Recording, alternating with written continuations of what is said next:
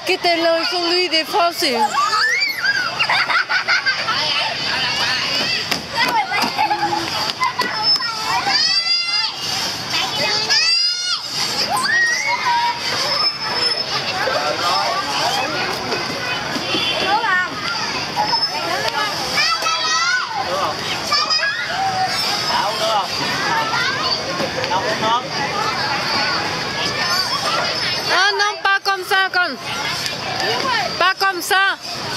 Correctement.